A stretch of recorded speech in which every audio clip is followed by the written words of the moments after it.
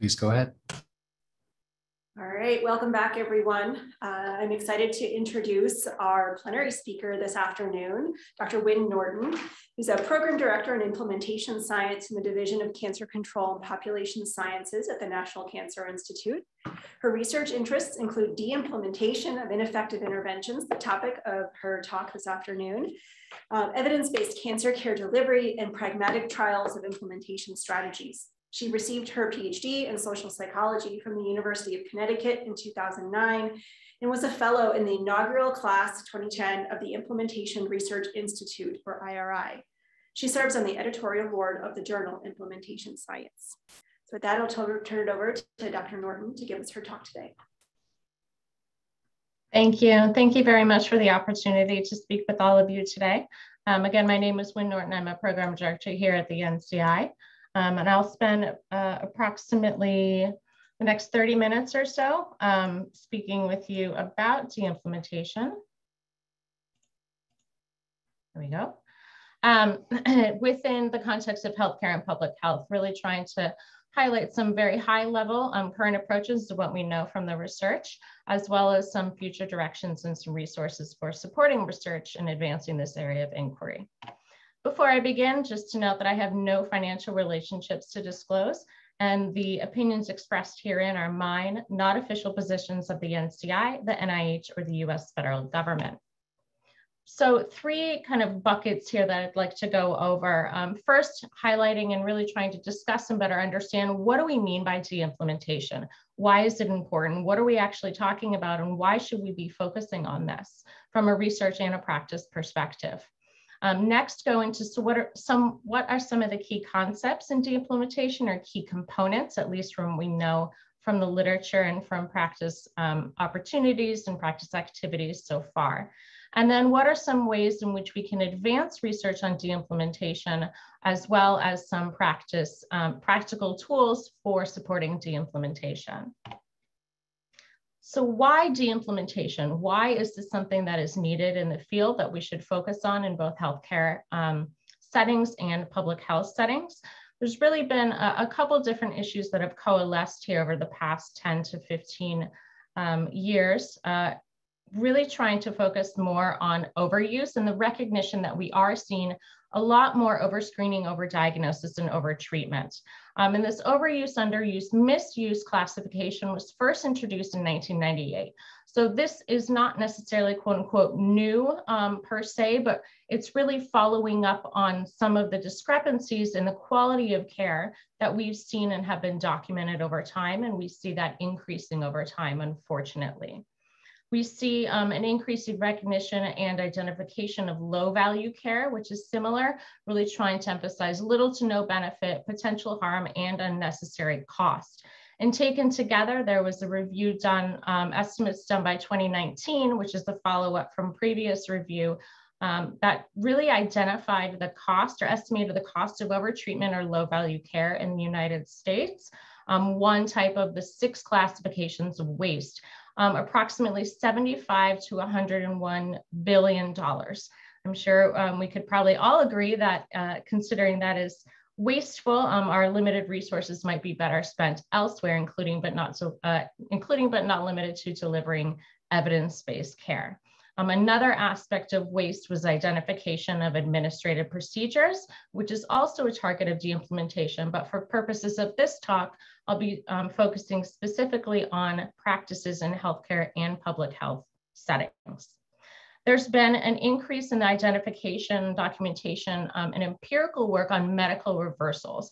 And um, initially it was approximately 156 and has increased to 396 um, by Herrera and Perez a couple years ago, where they looked at the top three medical journals. And this is essentially a situation where we initially had evidence that some type of practice program drug treatment guideline, we'll use the collectively as intervention, um, worked uh, from some type of trial, some type of study, where we subsequently find actually through um, larger uh, powered trials, randomized controlled trials, that actually it, this intervention does not work and potentially is more harmful than helpful.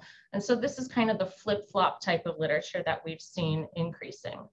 And then finally, um, which I think is inevitable, um, that evidence is dynamic. And we see a lot of uh, appreciation for that and recognition of that in implementation science, including some recent articles um, by Rachel Shelton and colleagues focusing on kind of the dynamism of evidence. David Chambers has talked about this as well, and really the need to accept that and recognize that and anticipate adjusting for that, whether that's adaptation, um, whether that's uh, substitution of a different intervention or a more cost-effective intervention, and trying to think about some of those issues as we generate more better evidence um, at, through the use of better statistical models, stronger and more methodologically sound um, research designs and study methods, qualitative, quantitative, mixed methods, as well as really trying to expand partnerships and participation and representation of individuals, communities, and systems that participate in research and to which the results would be applicable. So what are we actually talking about, this kind of de-implementation term? And I'm using it, of course, as a catch-all um, for purposes of this talk, just uh, to make it a little more efficient. Um, but we have seen, uh, there was a study by Niven and colleagues done in 2015, and you'll see that it echoes um, the implementation science literature, which uh, McKibbon and colleagues found in 2010, approximately 100 different terms talking about this space of implementation science. And certainly we see kind of a, a similar um, phenomena here, um, looking at the additional terms, and these are sized here in terms of frequency. So at the time, disinvestment, decrease, discontinuation. Um, and while we appreciate and recognize the need for different terms and the need for different definitions, um, I think it's also important to be very clear what one means when one's talking about this type of um, field or this type of uh, phenomena. So one of the definitions that we have used and, and try to use and be clear about um, is that de-implementation is really the study of how to reduce or stop the use of an ineffective health service or practice. Um, really focusing on the how, similar to implementation science, focusing in on the type of behavior, reduce or stop, although I'll expand on that in just a minute, um, as well as being very explicit that this is some type of, of intervention that is being delivered to individuals, whether in healthcare or public health settings by some type of practitioner or collection of practitioners, again, in different settings, through a particular delivery system. So there's a clear kind of chain of um, actions that take place there and who's involved in delivering or receiving um, and implications, of course, for studying that broadly speaking. So I just want to touch upon some similarities um, based on the, uh, this is certainly not comprehensive and it's not empirically based, um, but based on a review of the literature and discussion um, with experts, we can see, I think, a lot of overlap here um, between implementation science and de-implementation science or uh, research. Um, I think at least from, from what we've seen, there are these broad aspects that really are the fundamental underlying components of both of these fields. Fields. Um, context is critically important. Partnerships are critically important um, with end users for generating ideas. Partnership driven or provider driven research engagement um, in a meaningful way all the way through the entire study design um, formulation of those research questions through the sharing and dissemination of the results of the study or studies. It's really multidisciplinary. Um, we have fields, uh, health services research, uh, clinical trials, psychology, sociology, anthropology, um, statistical experts, really see diverse multidisciplinary components of these teams that are being pulled together, reflecting the diversity of the types of questions and contexts in which de-implementation occurs. We know and, and emphasize and appreciate the health equity focus that needs to be increasingly incorporated both into implementation and de-implementation, recognizing, for example, that Blacks and Hispanics are more likely to receive low value care in the US um, compared to whites. We see similar research methods and study designs.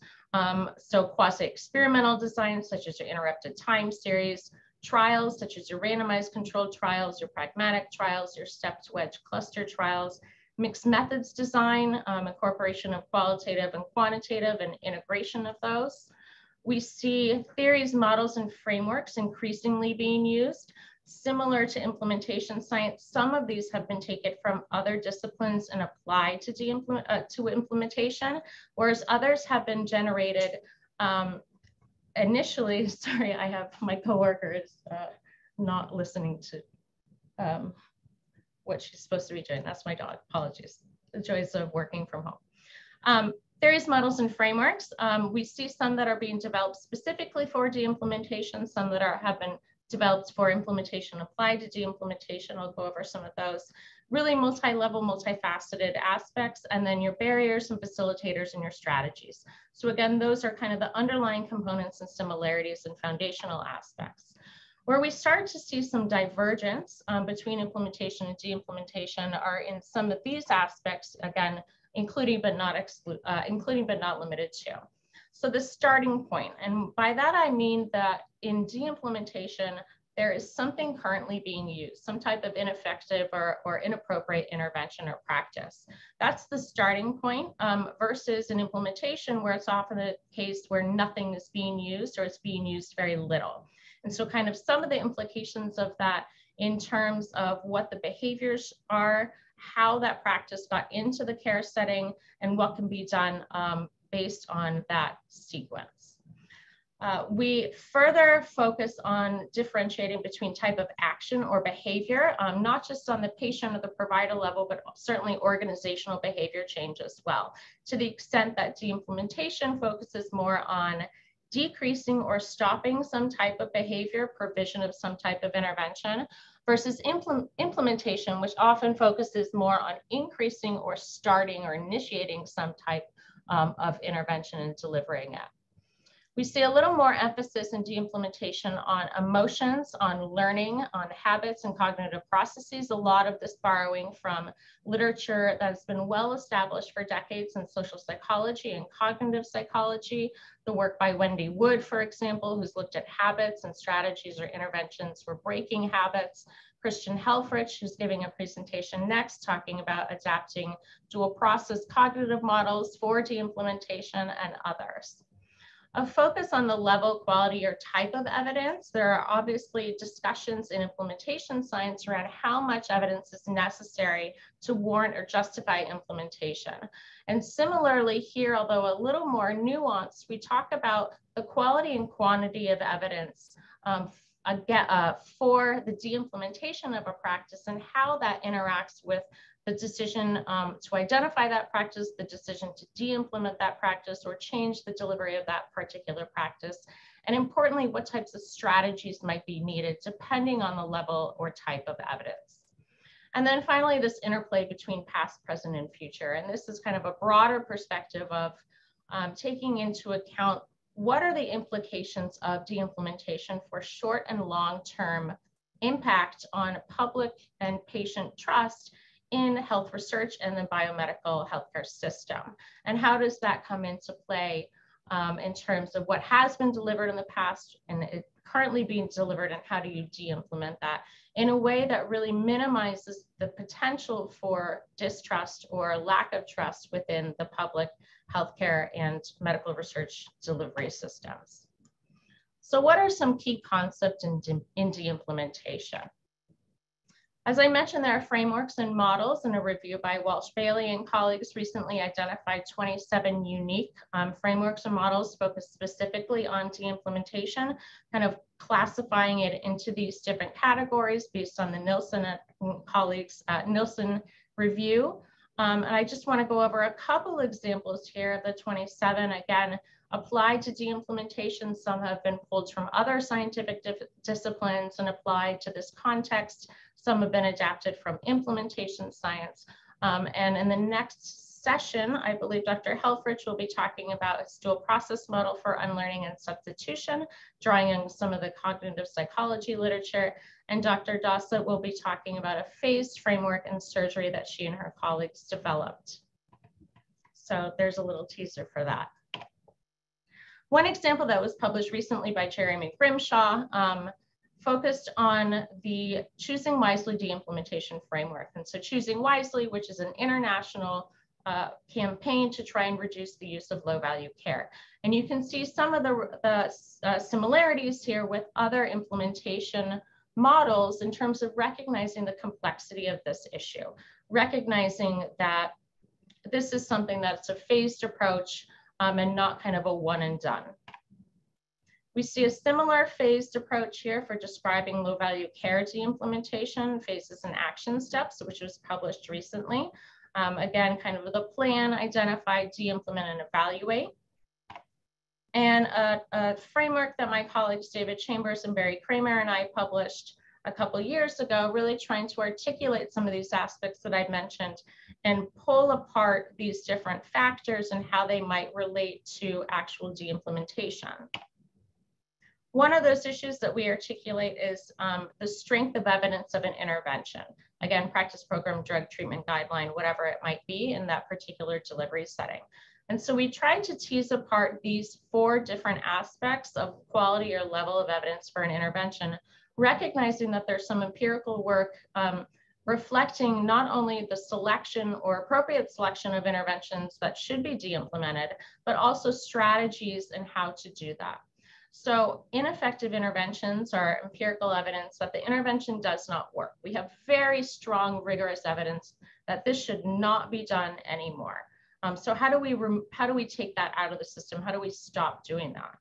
Contradicted, which is similar to kind of your medical reversal here, where we have more recent, higher quality empirical evidence that indicates that this actually doesn't work um, compared to what we thought previously worked, which is why we implemented it mixed, so kind of an equal amount and quality of um, evidence, whether it be uh, quantitative and or qualitative, that this intervention or practice or program does work or it doesn't work.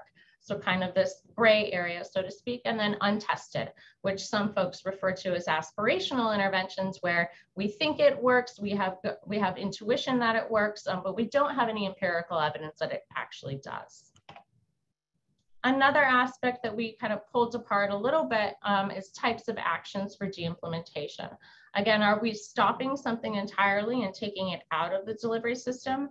Are we replacing it? Um, so instead of delivering one intervention, let's say we identify one that is more cost effective or has a greater effect size that's targeting a similar type of health outcome or collection of outcomes. How do we stop that intervention and replace it with something new or substitute it with something new? We could reduce the frequency and or intensity of the intervention. Um, let's say having a, a screening tests done every five years instead of every three or changing dosage from 100 milligrams to 50 milligrams. And finally, restriction. And so the use of intervention with narrow scope. So rather than universal testing for populations, we have it um, changed to high risk populations testing only multi-level determinants of de-implementation, again, just as we see with implementation, um, some overlap here in kind of conceptualizing this. There are certainly other um, models out there that, that call attention to the different types of levels. Um, but broadly speaking, I think you can see here overlapping with EPIS and CFIR, some of those inner context, outer context, inner setting, outer setting, patient provider level aspects and how this um, plays a role again in either facilitating or impeding de-implementation. So patient level barriers, um, again, some in implementation, but we'll highlight those here that are really more focused on de-implementation based on um, kind of the literature and, and emerging data that we have. So inaccurate cognitions or beliefs that, you know, more care is better care. And if a provider isn't, isn't giving me care or, or administering some test or uh, treatment, then it's really rationing care uh, and it's unnecessary and inappropriate. Negative emotions, so anxiety over not knowing, you know, I'd rather know than know, even if that test isn't very accurate. And of course, a consistent um, and unfortunate distrust of medical establishment based on um, historical issues and unfortunately current issues as well. One example, um, looking at these patient level aspects is a study by Rachel Shelton and colleagues, um, who I believe spoke earlier today, trying to better understand what are some of the factors um, and how, per, uh, how individuals perceive changes in guidelines um, with a particular focus on de-implementation. And so really, again, calling attention here to um, individuals' perceptions of mistrust of guidelines, confusion about why they are no longer receiving some type of screening um, for cancer when they were receiving it in the past, um, and concern that uh, the guidelines don't reflect, reflect their lived experiences. Um, and really trying to emphasize that it's an empowerment tool and to the extent that one reduces or changes the use of that, it may have an, an effect in a negative way on engaging in other health behaviors. Provider level barriers here, we're talking about kind of negative past experience or cognitive dissonance, fear of medical malpractice and defensive medicine. Um, negative past experience, for example, could be an incident where a provider appropriately did not issue or did not order a test or provide some treatment, but it led to a catastrophic um, outcome for uh, the patient. Um, and so to the extent that they would like to uh, prevent the probability of that happening in the future. Perhaps it's something where, you know, I'm going to be rather be safe than sorry, and I'm going to order that test even though it's not clinically indicated per se. Cognitive dissonance, we're pulling back uh, to 1957 when um, Festinger first proposed cognitive dissonance in social psychology. I'm really trying to focus on how does that affect the provider in decision making in that they've provided an, an, intervention in the past and now they're being asked either not to do it or to reduce the use. So how do they reduce the dissonance between um, those uh, changes or, or discrepancies in attitudes and actual behavior? And then fear of medical malpractice or defensive medicine, which we have some empirical evidence recently that shows that providers behave differently and are more likely to overuse low value care um, in situations where they are uh, uh, available to or um, likely to be uh, potentially um, sued. Uh, but certainly it doesn't account for as much variability in the actual behavior as we had previously thought. One example here, I'll let you uh, read this quote just as a side note. This is one of uh, the most interesting titles of an article I've ever read. Don't just do something, stand there. Um, really focuses on this uh, provider's individual experience, and I think calls and uh, highlights kind of the issues here of litigation, um, performance measures, and really incentives to try and provide um, more care than less care, even in situations where it's inappropriate, and the impact of patients' expectations on the provision of such care.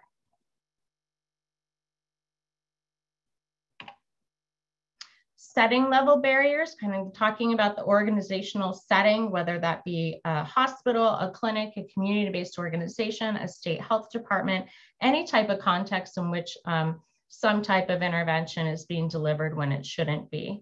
Um, talking about these, these are particularly um, more prevalent or more uh, applicable to healthcare delivery settings than public health settings. Um, and that's mostly a function of the fact that we have more evidence and more research in healthcare settings versus public health settings, although there certainly is an increasing amount in public health. Um, and I'd refer you to uh, work by Ginger McKay and Ross Brownson and colleagues who have done some really nice work looking at that within the public health settings, um, particularly HIV interventions. Within healthcare, focused on some of the barriers toward de-implementation, you know, there aren't other revenue generating alternatives.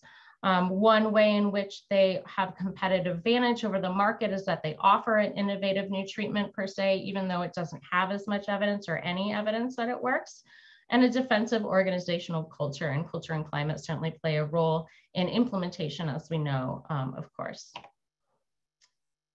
An example here that was published um, this year uh, was a study looking at factors associated with overuse of healthcare within the US health systems. Um, so this was a really nice study looking at um, 17 low value services. They created an overuse index and looked at almost 4,000 hospitals and clinics across 676 health systems. And they were trying to identify what are some of the factors associated with pr the provision of low value care delivery as a way, again, to try and identify what are some of those drivers what are some of those um, levers that could be pulled and changed to try and facilitate de-implementation? And these are some of the factors that they found to be um, more likely to be associated with a delivery of low value care. Um, and so certainly would be targets for de-implementation strategies in the future, although uh, conducting some qualitative or mixed methods research, I think would be particularly important here to better understand why these certain factors are associated with uh, low value care. And last but not least, societal level barriers. Again, these are aspects um, that are pretty broad, that are very difficult uh, to manipulate, so to speak, if you're doing some type of trial to test the implementation strategies. But nonetheless, we know um, empirically have a very important effect on facilitating or uh, impeding de-implementation. A recent study here um, really looked at kind of the Choosing Wisely recommendations, which is an international educational campaign of approximately 20 countries um, over the past 10 years or so, and trying to assess to what extent these societal level changes, such as a, an educational campaign, Choosing Wisely, and policy level reimbursement changes, to what extent did that have an effect on reduction in low value lab tests? And so they conducted this interrupted time series uh, study, three healthcare delivery jurisdictions, including in Canada, the VA, and private um, health insurance in the US, with approximately 55 million patients. And they found that while the Choosing Wisely recommendations were associated with um, a reduction in the two low valued lab tests, it really was the combination of the, of the Choosing Wisely campaign and the change in reimbursement um, that led to the greatest effect. And so we have evidence here um, that really kind of pulling those levers of change and, and uh, not reimbursing for things that should not be done or should be done very infrequently has a desired effect.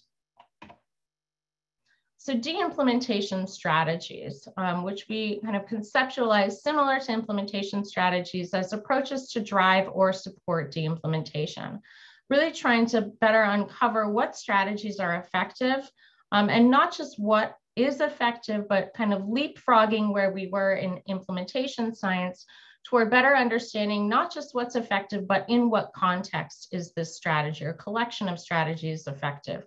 And how do they inevitably vary by the type of intervention, let's say a drug versus a guideline versus a multi-component um, behavior change uh, intervention versus um, you know, uh, other types of drugs?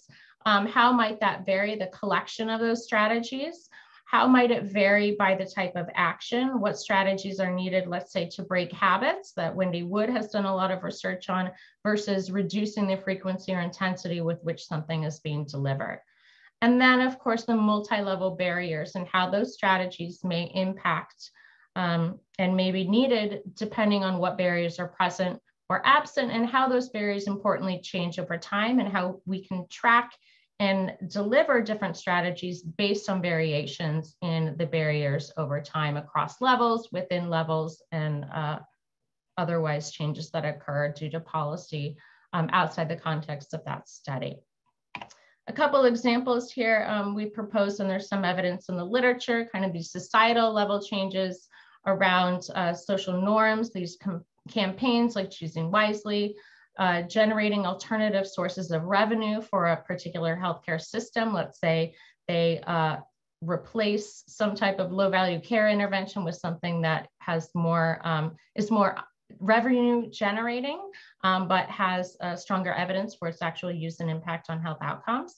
Fear medical malpractice and legis legislative tort reform and inaccurate beliefs um, such as patient education. So again, really mapping this, the strategies um, to focus on mitigating or reducing the impact of the barriers on the de-implementation process. This is another um, mapping the drivers of overdiagnosis. Um, really trying to focus here on these multi-level issues. Again, you'll see kind of the complexity here. Um, and overdiagnosis is, is similar, but a little bit different in terms of how it has come about and what one should be or could be doing to address it. But I think a lot of the aspects here are similar um, in terms of de-implementation. You see kind of possible drivers here and possible solutions. De-implementation outcomes.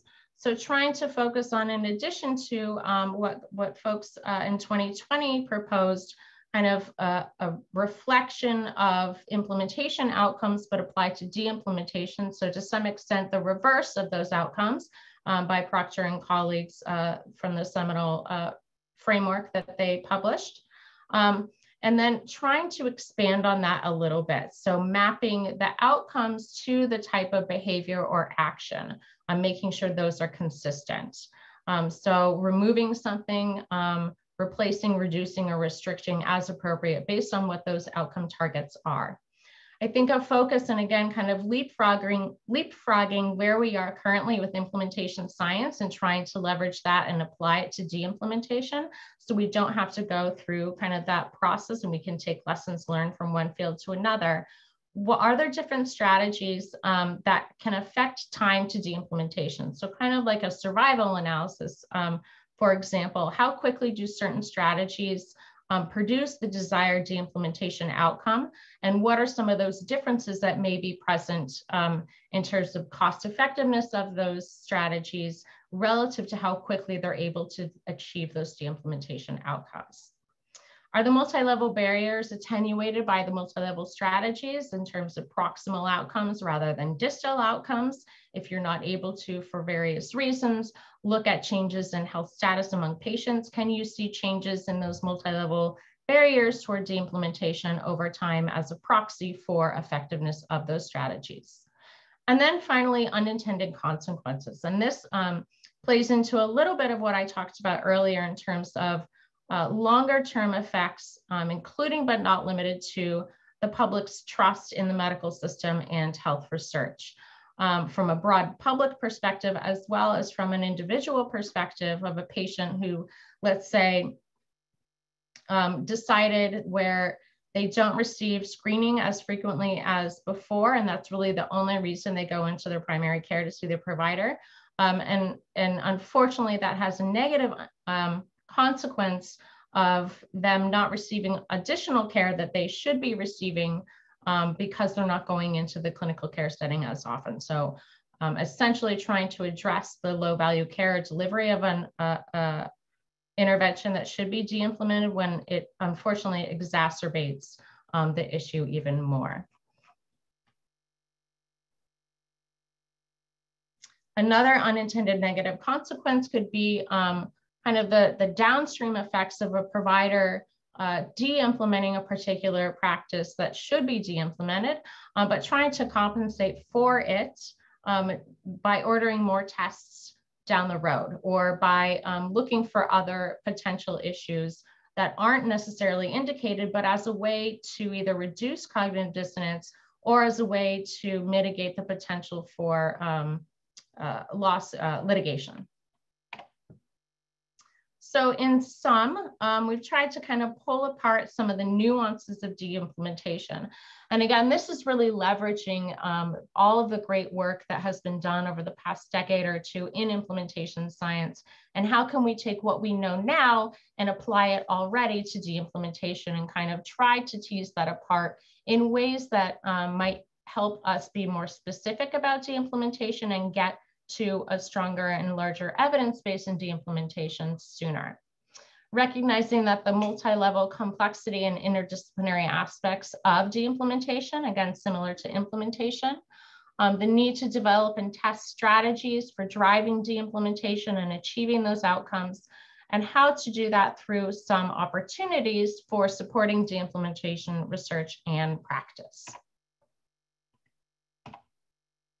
Of course, there are funding opportunities. Um, one that was recently reissued, which we're very excited to have 20 NIH Institute centers and offices having signed on for the R01, R21, and RO, uh, R01, R03, excuse me, um, which makes it very explicit um, that we're interested and in, institutes are interested in seeing applications come in that are focusing on de-implementation of these different types of interventions.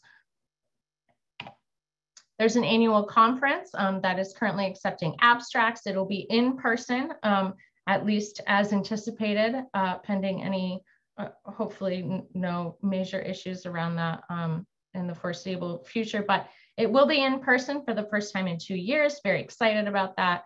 Um, so I encourage you to submit um, abstracts on de-implementation if you have uh, work being done in that space, um, or certainly attend to learn more. I'm, I'm uh, certain there will be some tracks and presentations on de-implementation. this is just a collection of some textbooks that have at least one, if not several chapters in them on de-implementation or de-adoption in different types of settings. And with that, I will close. Thank you very much for your time and again, the opportunity uh, to present today. And I'm happy to take questions and comments um, and feel free to email me if you have uh, additional um, questions after this session. Thank you. Thank you so much, Dr. Norton. Very nicely done. Do we have any questions?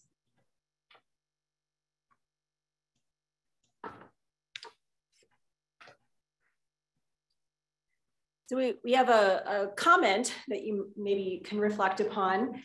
Um, Amy Huebschmann asks, I wonder if payment policy changes are a bit more common sense for payers to implement when it is clear that a lab test is low value. It seems to be a right pocket win as opposed as compared to the wrong pocket problem we often see when trying to implement changes that benefit someone other than those paying for it.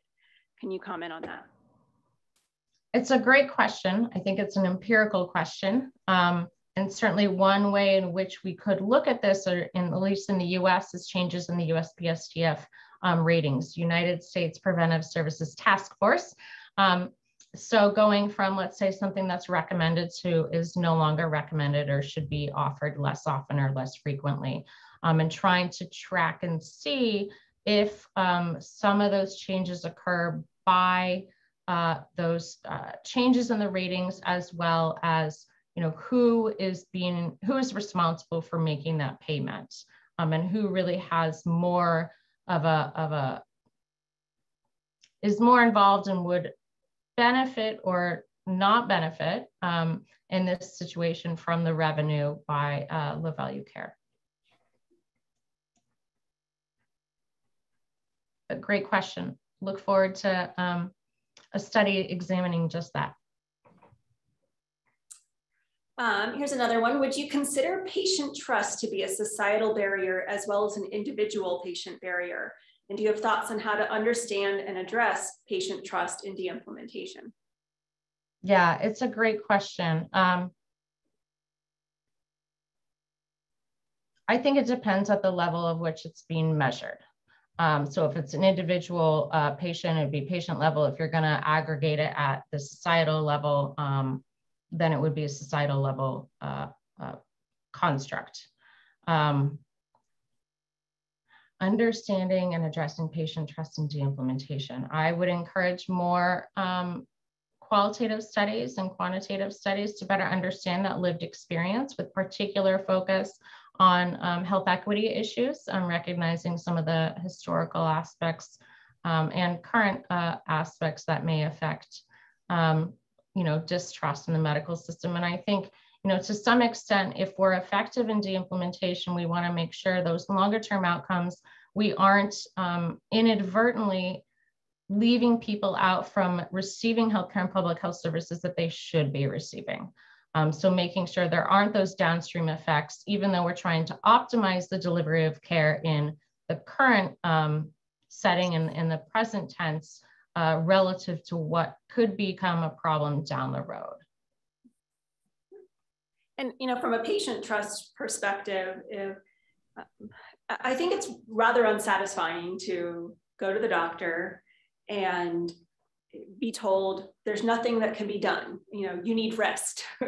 Uh, and and and so if we're de-implementing some sort of action that we might have otherwise recommended for which we don't have a replacement that i you know that could be you know a severe disincentive for health systems who are very reliant upon patient satisfaction scores and and so there's you know it the value of something maybe along the lines of uh, people have a, a, a, bias towards doing something or a bias towards action. Um, and if it's not harmful, at least maybe it's low value from a monetary perspective, is it is it still worth doing or, or what do we replace it with without hurting patient satisfaction?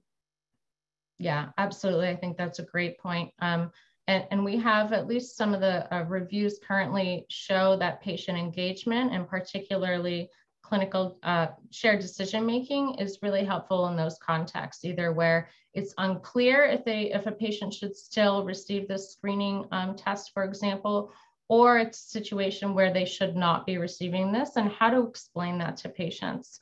Um, you know, on one hand, it could be something where, okay, good, I don't have to come to the physician every every five years. Only have to come in to see the specialist every three years. On the other hand, it could be, well, why have you been providing me something that I shouldn't be receiving and I have to do co-pays for over the past five years? Um, but yeah, it's it's a very complex issue, um, and I think there's a lot of work to be done around it. Right. Um, and uh, along the same lines, Russ asks, do you have any advice for how to work with multiple multi-sector partners when they have different priorities, conflicting interests around the implementation? um, as we were just discussing, uh, different interests that are actually in conflict with the evidence potentially. Any advice about that? um, I don't know that I have any wisdom to share on that. I, Russ, I suspect you have far more wisdom than I do. Actually, I, I would, well, I, I can't place money on any buts. However, um, but it's a great question. I think I think the incentives for collaboration would need to be there or stronger. I think framing it as optimizing care um, versus losing revenue or helping um, systems identify alternative revenue generating uh, practices as a way to try and mitigate some hesitation around that.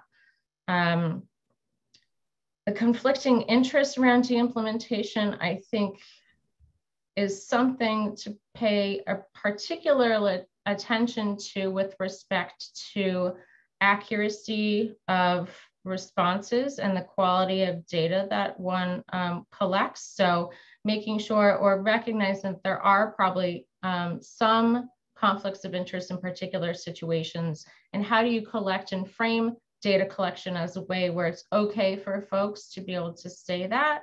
Um, so you have an accurate representation of that context versus, um, you know, uh, asking those questions in a way that you're going to get demand characteristics and not a reflection of, of the truth per se. But certainly, um, there we go. Thanks, Russ. Uh, I mean, I'm thinking about our uh, opening keynote yesterday from Dr. Luke, and he's talking about culture change around what types of impacts do we value. And I, I think this is very much related to that. You know, if we have a culture of you know, evidence-based practice, if we have a culture of we're not going to do things that are low value, even if they make a lot of money in the health system, and that that's not you know we're going to sit down and talk about it it's that's that's a sort of slow change and adjustment in culture. And we had a, a, seminar series this year around learning health systems. I think that's also part of it. What's the culture that we're bringing? Uh, and how we're making decisions about how we provide care. And who's at that table to make those decisions? Mm-hmm. importantly and, and i think representative of, of everyone involved and Claudia has a, a, related point around culture and context and health equity that perhaps there's a balance or a tipping point between de-implementation or framing of de-implementation versus adaptation. And there might be instances in which it might be more palatable for a health system to, to adapt. Um, do you have any thoughts upon on that balance or tipping point? Yeah, I think it's a great question. Um, and, uh, you know, a lot of the dynamism and, and adaptation literature has focused on, again, recognizing that evidence changes over time and the need to adapt as things change.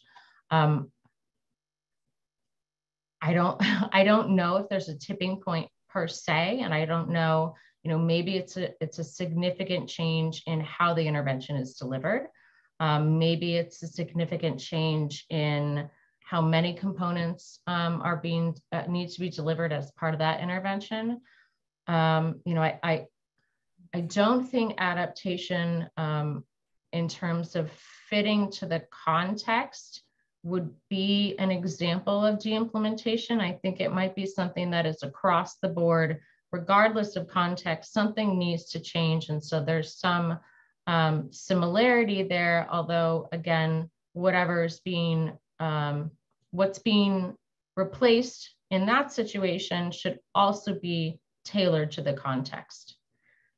That is very complicated and convoluted response, but I hope, um, you know, I, I, again, I think it's a great question. It, it, could be kind of your PDSA type of cycles um, with swapping something out um, and putting something uh, new in, and then kind of the iterations on how to fit it within that context. Absolutely. Um, yes. Um, thanks for your talk, Wynne. I've just got a question. Um, whilst obviously de-implementation is highly contextual, in your particular context, can you give us a sense of any examples of how long this could take? Is there a case study of how long de-implementation and how much it might cost? Yeah, it's a it's a great point. Um, I think we know from the, some of the medical reversal literature that we can predict time to medical reversal. So time from when that initial study comes out, which is going to be, if it's an RCT, which a lot of the medical reversal has looked at, because they've looked mostly at drugs um, or, or a lot at drugs. It's really that initial publication, which has um, a bias toward a larger effect size versus um, smaller effect size as additional and larger studies are done. So I, I think there is some evidence that we can predict when it's going to happen. Whether or not we can anticipate that and adjust accordingly, I think is another question. Um, the cost, the cost is, you know, cost of different types of strategies, time um, to achieve achieving those outcomes based on the different strategies and the interaction there. Um, but I also think it kind of speaks to this broader issue that you're tapping into around how do we prevent or minimize the need for de-implementation in the first place. Um, some of that is, again, we're always going to be generating more evidence and ideally better evidence, so it's inevitable. The other side of that, I think, relates to implementation and the conversations around how much evidence is necessary to warrant and justify implementation. And that's kind of an open question um, and different types of evidence that, that are more or less applicable and, and um, kind of appreciated by different groups. I guess my thought on that and, and kind of uh, opinions expressed here in our mind um, is that I think a question we need to ask ourselves, um, you know, not, not just what's the cost of, um, you know, we want to do something, but what's the potential long-term cost of doing that? Um, so, so what are the ramifications potentially of implementing something that we don't really know if it works? Um, and, and it might be the case that it's better to not do something than do something for which we don't know if it works based on those longer term outcomes, the potential ramifications of doing so. That's not to say that everything has to be you know, you need 10 RCTs of some particular practice to warrant justification. But it is to say that I think we need to take um, a, a, pay a little more attention to the potential for um, negative repercussions if we implement something for which we don't have good evidence or we don't have strong enough evidence for, for patient outcomes, but as well as for our partnerships um, you know, because we work with partners and, and say we have this evidence-based practice or you worked with us to generate it and now we want to spread it to different regions or states. If that doesn't work, what's the potential impact of that on likelihood of partners wanting to do research in, in the future? Um, so I, I guess that's a long way of saying something to consider. Oh, well, thank you so much, Dr. Norton. Um, we have one more session to go in COPRH Con today. And so we will um, we'll end this session and then we have two more presentations coming up this afternoon. You have a choice. Both are around the implementation. If you stay in this room, it will be Dr. Christian Helfrich talking about de-implementation equity and outcomes. Uh, and then in our other room, room two, or the room across the hall, uh, we will have uh, Lesly Dossett talking about case examples and de-implementation. Um, so then we hope you come back tomorrow uh, for our opening keynote is from Dr. Rachel Shelton talking about sustainability and equity that is sure to be a really excellent presentation. So we do hope you come back. Um, so if you would like to stop recording, Mike, I think we can get ready for our next session.